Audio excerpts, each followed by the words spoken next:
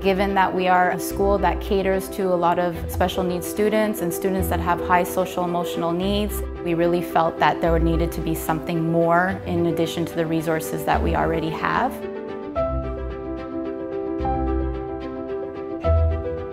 Some of the challenge Caleb faces is he has a hard time managing his emotions, which has been a hindrance to him. There was times where we even had to call the police to assist us with Caleb to try to get him to calm down.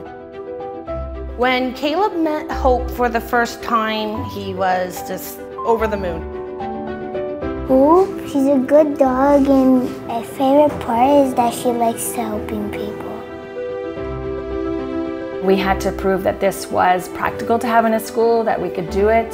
Once we got the contact with Asista, they were very helpful each step of the way. They came to visit when she first came. They come regularly to check in on how she's doing and also to support Mickey on how to foster a dog.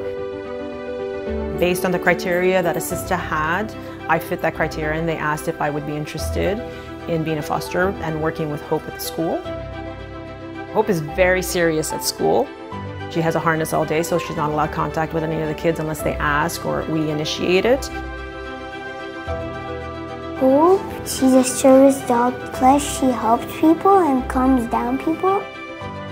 And plus, she's a cute dog.